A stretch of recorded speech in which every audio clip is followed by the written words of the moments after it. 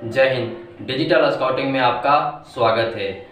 आज हम 18वीं राष्ट्रीय जम्बोरी से संबंधित कुछ महत्वपूर्ण जानकारी प्राप्त करेंगे।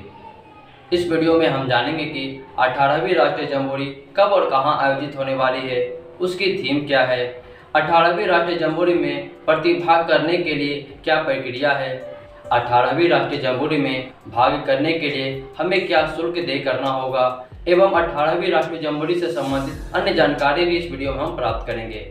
इस वीडियो में हम यह भी जानेंगे कि जम्बोरी में आपकी आवास की व्यवस्था कैसी होगी, भोजन की व्यवस्था क्या होगी, एवं वहाँ की भौतिक सुविधाएँ क्या रहेगी, इन सभी की जानकारी हम लोग इस वीडियो में जानेंगे। साथ ही साथ ही हम यह भी जानेंगे कि अठारहवीं राष्ट्रीय जम्बोरी में कौन कौन सी गतिविधि कराई जाएगी एवं वहाँ पे क्या क्या प्रतियोगिताएँ करवाई जाएगी? उन प्रतियोगिताओं के लिए हमें क्या क्या सामग्री अपने राज्य, अपने ज़िले से लेकर के जम्बोरी स्थल पर जानी है? इन सभी की जानकारी हम इस वीडियो में प्राप्त करेंगे। तो आप सभी इस वीडियो को पूरा ज़रूर देखिए। अगर आप इस वीडियो को पूरा देख लेते हैं तो जम्बूरी से संबंधित कोई भी समस्या आपके मन में बिल्कुल नहीं आएगा। मैं आकाश अकेला, राष्ट्रपति पुरस्कार स्काउट सह एडवांस स्काउट मास्टर अपने यूट्यूब चैनल डिजिटल स्काउटिंग में आपका स्वागत करता हूँ।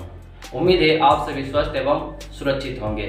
जैसा कि आप सभी को पता है, अठारहवीं राष्ट्रीय जम्बूरी से संबंधित राष्ट्रीय मुख्यालय की तरफ़ से सर्कुलर जारी कर दिया गया है। अठारहवीं राष्ट्रीय जम्बूरी का जो कोटा है, वो प्रत्येक राज्य को भेज दिया गया है। वह उससे संबंधित कंफर्मेशन स्लिप भी जारी कर दिया गया है। तो बहुत सारे स्काउट गाइड का यह सवाल आ रहा था कि, सर, हम जम्बूरी में किस प्रकार भाग ले सकते हैं? जम्बूरी में हमें जाने के लिए क्या क्या करना होगा? जम्बूरी की फ़ीस क्या है? जम्बूरी में क्या क्या प्रतियोगिताएँ करवाई जाएगी? जम्बूरी से संबंधित बहुत सारे सवाल स्काउट गाइड्स का आ रहा था। तो आज हम इन सभी सवालों का जवाब इस वीडियो में जानेंगे। तो वीडियो शुरू करने से पहले, आप सभी से आग्रह है, अगर आप इस चैनल पर नए हैं या आप हमारी वीडियो को पहली बार देख रहे हैं तो इस चैनल को सब्सक्राइब करना बिल्कुल ना भूलें, क्योंकि तो स्काउटिंग गाइडिंग से जुड़ी हर प्रकार की जानकारी इस चैनल पर हमेशा हम लाते रहते हैं। तो चलिए जानते हैं हम लोग, राष्ट्रीय जम्बोरी से संबंधित कुछ महत्वपूर्ण जानकारी जो प्रत्येक स्काउट गाइड को इसकी जानकारी होनी चाहिए। तो चलिए वीडियो को शुरू करते हैं। तो सबसे पहले हम जानते हैं अठारहवीं राष्ट्रीय जम्बोरी कब होने वाली है और इसकी थीम क्या है। तो आप सभी को बता दें, अठारहवीं राष्ट्रीय जम्बोरी चार जनवरी से दस जनवरी 2023 को होगी, एवं इसकी थीम है प्रोग्रेस विथ पीस, यानी शांति के साथ प्रगति। अब जानते हैं हम लोग जम्बूरी कहाँ आयोजित की जाएगी। तो इसका है RIICO DMIC area N H sixty two Rohat जिला पाली, राजस्थान। अब जानते हैं हम लोग अठारहवीं राष्ट्रीय जम्बूरी में पंजीकरण शुल्क क्या है। तो आप सभी को बता दें राजस्थान राज्य स्काउट और गाइड ने निर्णय लिया है कि इस जम्बूरी में पंजीकरण शुल्क नहीं लिया जाएगा। यानी राष्ट्र, अठारहवीं राष्ट्रीय जम्बूरी के लिए पंजीकरण शुल्क बिल्कुल निःशुल्क है। अब हम आगे बढ़ते हैं। राष्ट्रीय मुख्यालय सहयोग राशि के बारे में जानते हैं। स्काउट गाइड शुल्क एक सौ अस्सी रुपया एवं उसके साथ जो यूनिट लीडर जाएँगे, उनका शुल्क है दो सौ अस्सी रुपया। अब जानते हैं अठारहवीं राष्ट्रीय जम्बूरी में जाने के लिए क्या क्या पात्रता योग्यता होनी चाहिए? तो सबसे पहले स्काउट और गाइड, जिनकी उम्र 13 वर्ष से 17 वर्ष के मध्य हो, एवं जिन्होंने कम से कम द्वितीय सोपान अपने यूनिट लीडर के संरक्षण में पूर्ण कर लिया हो। यानी कोई भी स्काउट गाइड, जिसकी उम्र 13 से 17 वर्ष के बीच में है, और जिन्होंने कम से कम द्वितीय सोपान उत्तीर्ण किया है, अपने यूनिट लीडर के संरक्षण में। उनकी संख्या नौ बाय वन के आधार पर अनुपात पे होगी। यानी नौ स्काउट पे एक लीडर होंगे या नौ गाइड पे एक लीडर होंगे। अब जानते हैं हम लोग प्रतिभागिता की प्रक्रिया क्या है। तो इसका है, पेट्रोल प्रारूप एवं आवंटित कोटे के अनुसार। यानी पेट्रोल प्रारूप जो बनाया गया है, नौ बाय वन, यानी नौ स्काउट गाइड पे एक लीडर। उसी प्रकार जो राज्य मुख्यालय की तरफ़ से कोटा जो जिला को भेजा जाएगा, उस कोटे के अनुसार। अब जानते हैं हम लोग, प्रत्येक जनपद कंटीजेंट अपने आवंटित कोटे के अनुसार आवश्यक सामग्री क्या क्या लेके जाएँगे। तो सबसे पहला है, दो संस्था ध्वज, ध्वजारोहण एवं मार्च पास्ट हेतु। उसके बाद है, कलर पार्टी की वर्दी, मार्च पास्ट हेतु एपीआरओ के अनुसार। तीसरा है, बैंड बैंड डिस्प्ले। चौथा है, प्रस्तुतिकरण हेतु, ग्लोबल डेवलपमेंट विलेज प्रदर्शनी, फ़िज़िकल डिस्प्ले। शारीरिक प्रदर्शन pioneering project skillorama integration march integration game food plaza state day समारोह एवं अन्य कार्यक्रम हेतु साज सज्जा, साहित्य। पाँचवा नंबर में कैंप फायर लोक नृत्य हेतु वाद्य यंत्र एवं वेशभूषा, यानी कैंप फायर से संबंधित जो भी वेशभूषा हुआ, वाद्य यंत्र हुआ, उसको भी आप साथ में लेकर के जाएँगे। उसके बाद छः नंबर में है आवश्यकता अनुसार प्राथमिक चिकित्सा सामग्री एवं ज़रूरत की दवाइयाँ। फ़र्स्ट एड बॉक्स साथ फ़र्स्ट एड बॉक्स साथ में रखना है और जो आपको लग रहा है आवश्यक दवाइयाँ हैं, वो दवाइयाँ भी आप लोग साथ में रख सकते हैं।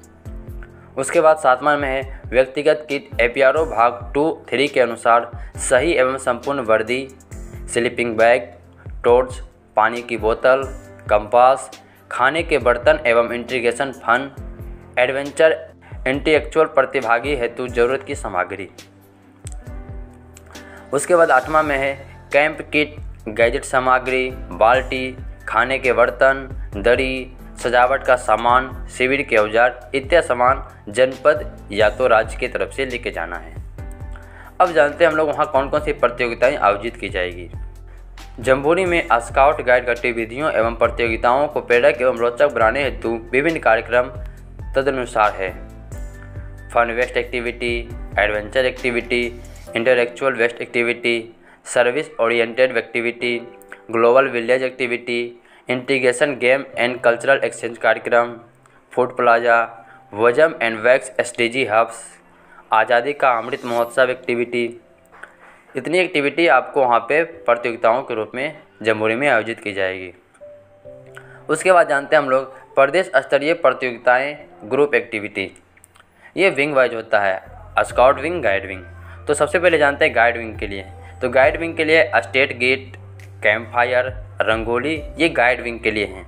और स्काउट विंग के लिए है पायनरिंग प्रोजेक्ट जो प्रदेश स्तरीय यानी राज्य स्तरीय प्रतियोगिताएँ ग्रुप एक्टिविटीज़ होगी उसके लिए। उसके बाद है सामान्य प्रदेश, सामान्य राज्य स्तरीय प्रतियोगिताएँ एवं ग्रुप एक्टिविटी प्रत्येक विंग हेतु। तो इसमें है march past colour party folk dance शारीरिक प्रदर्शन बैंड डिस्प्ले स्टेट प्रदर्शनी स्टेट डे विजेंट शो, ग्लोबल डेवलपमेंट विलेज, इन प्रकार की प्रतियोगिताएँ वहाँ पे विंग वाइज आयोजित की जाएगी। ना स्काउट विंग, गाइड विंग के अनुसार आयोजित की जाएगी। अब जानते हैं हम लोग निर्णायक प्रक्रिया, जो जजमेंट होंगी वो किस प्रकार से होगी?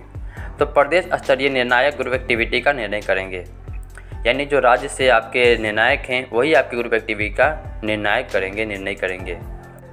उसमें जो आपको ग्रेड मिलेगा और प्राइज मिलेगा, वो किस प्रकार से है, उसके बारे में जानते हैं। जो प्रदेश राज्य ग्रेड ए प्राप्त करेंगे, उन्हें विषयानुसार ग्रेड प्रमाण पत्र एवं पैनेट प्रदान किया जाएगा। जो प्रदेश या राज्य ग्रुप एक्टिविटी में प्रत्येक विंग में सर्वोच्च अंक प्राप्त करेंगे, उन्हें चीफ कमिश्नर शील्ड प्रदान की जाएगी। जो प्रदेश राज्य ज्वाइंट ग्रुप एक्टिविटी में सर्वोच्च अंक प्राप्त करेंगे, उन्हें चीफ नेशनल कमिश्नर फ्लैग प्रदान किया जाएगा। अब जानते हैं हम लोग वहाँ की आवासीय व्यवस्था क्या होगी, यानी रहने के लिए क्या क्या व्यवस्थाएँ आपके वहाँ पे होगी। तो प्रत्येक पेट्रोल लीडर एवं लीडर के अनुसार एक टेंट, तंबू जिसके जिसके नौ प्लस वन स्काउट और नौ प्लस गाइड हेतु प्रदान किया जाएगा। यानी एक टेंट में नौ स्काउट प्लस एक लीडर साथ में रहेंगे तो एक टीम यानी दस लोग रहेंगे उसमें। उसी प्रकार गाइड विंग का भी है। नौ गाइड प्लस वन यूनिट्स के यूनिट लीडर हैं। जम्बूरी दो भागों में विभाजित रहेगी। एक भाग स्काउट वर्ग एवं एक भाग गाइड वर्ग। यानी एक भाग में स्काउट वर्ग रहेंगे, एक भाग में गाइड वर्ग रहेंगे। स्काउट गाइड हेतु आवासीय व्यवस्था अलग अलग रहेगी। पानी एवं शौचालय व्यवस्था जम्बूरी में उपलब्ध रहेगी। उसके बाद जानते हैं भोजन की व्यवस्था क्या है। तो प्रदेश राज्य की सेंट्रल मेस द्वारा की जाएगी। तो जो प्रदेश राज्य यानी जिस राज्य से आप जा रहे हैं, उस राज्य के द्वारा आपकी भोजन की व्यवस्था की जाएगी। जो हम आपको जानकारी दे रहे हैं अभी, ये राजस्थान राज्य को छोड़कर बाकी अन्य राज्यों के लिए है। तो भोजन व्यवस्था में यही है कि प्रदेश राज्य के सेंट्रल मेस द्वारा की जाएगी। उसका भोजन शुल्क आदि के संबंध में पृथक से यथाशीघ्र सूचित किया जाएगा। यानी राज्य से आपको भोजन शुल्क के बारे में क्या भोजन शुल्क किस प्रकार लगे, कितना लगेगा, उसकी जानकारी राज्य के द्वारा दिया जाएगा आपको। आप जानते हो वहाँ पर कौन कौन सी सुविधाएँ रहेगी, भौतिक सुविधाएँ। तो सबसे पहला, बैंक की सुविधा जम्बूरी स्थल पर की जाएगी। दूसरा है, पूर्ण साधनों के साथ जम्बूरी में डॉक्टर एवं नर्स स्टाफ की व्यवस्था जम्बोरी स्थल पर की जाएगी। जम्बोरी स्थल पर 24 घंटे इमरजेंसी एंबुलेंस सर्विस की व्यवस्था रहेगी। जम्बूरी स्थल पर सब्ज़ी, दूध, गैस सिलेंडर आवश्यकता के सामान की दुकानें एवं स्टॉल होंगे। सब कैंप में इंटरनेट सुविधाएँ होगी। छठा नंबर में कंटीजेंट से अनुरोध है कि यात्रा के दौरान आवश्यकता अनुसार प्राथमिक चिकित्सा बॉक्स एवं दवाइयाँ आवश्यक रूप से साथ लाएँ, जो आप जम्बूरी स्थल पर भौतिक सुविधा होंगी उनके बारे में। आप जानते हैं वाहन व्यवस्था, यानी किस प्रकार हम लोग जम्बूरी स्थल पर पहुँच सकते हैं। तो जोधपुर, लोनी, रोहत एवं पाली से रेलवे स्टेशन, व बस स्टेशन से जम्बूरी स्थल के लिए साधारण किराए पर बस, टेंपो, ट्रक आदि व्यवस्था रहेगी। तो यानी आपको जम्बूरी स्थल तक जाने के लिए आपको कोई भी परेशानी का सामना नहीं करना पड़ेगा। सारी व्यवस्था वहाँ पे पहले से अरेंजमेंट रहेगी। तो आप सभी स्काउट गाइड जो जम्बूरी में प्रतिभाग कर रहे हैं, उसको डिजिटल स्काउटिंग तरफ़ से ढेर सारी शुभकामनाएँ। आपका यह कैंप सफल हो। तो उम्मीद है आपको यह जानकारी पसंद आई होगी। अगर आपको यह जानकारी पसंद आती है तो इस चैनल को सब्सक्राइब करना बिल्कुल ना भूलें, क्योंकि स्काउटिंग गाइडिंग से जुड़ी हर प्रकार की जानकारी इस चैनल पर हमेशा हम लाते रहते हैं। तो चलिए मिलते हैं आप सभी से अठारहवीं राष्ट्रीय जम्बूरी राजस्थान में।